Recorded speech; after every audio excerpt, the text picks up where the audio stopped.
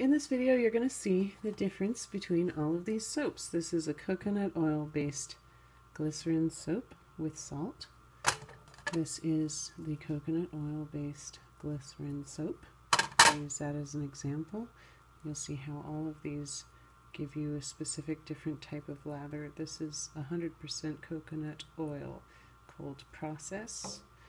This is the coconut oil um, glycerin with activated bamboo charcoal. And this is the 100% coconut oil infused with tons of stuff like salt, night clay, licorice, chaga mushroom, aloe, noni, and a bunch of other things. So we'll see how those ingredients affect the lather. And you'll see my favorite bar that I personally hand make and sell. This is a pumpkin spice oatmeal organic olive oil bar. And this is a recipe that you get for this particular soap, which this one has no preservatives. But if you make it and expect it to last, you need preservatives. And this is a canola based soap, which gives great big bubbles. Here's the biggest bubbles yet.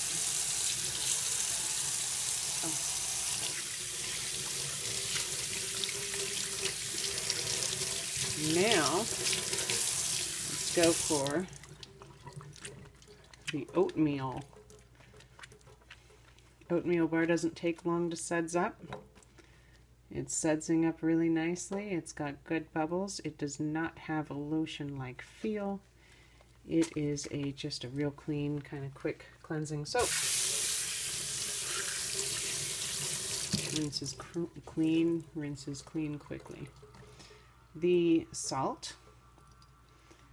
Um, this is actually not salt. This is 100% cold process coconut oil as an example.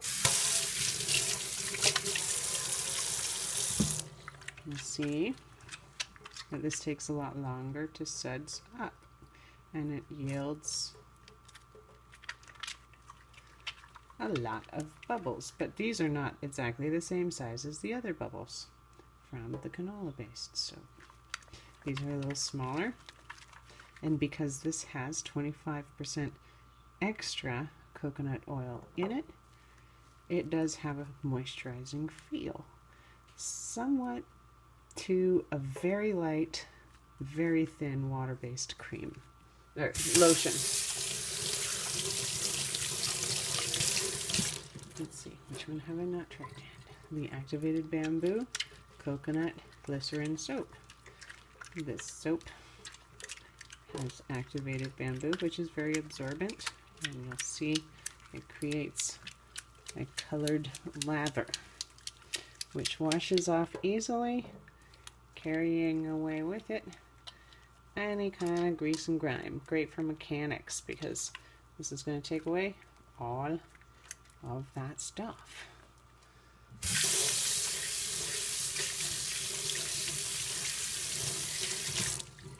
All right, and the activated bamboo charcoal with everything else in there. Basically, I called it the everything bar at first. This is definitely bubbly. It lathers well, and it has the thicker texture of cream.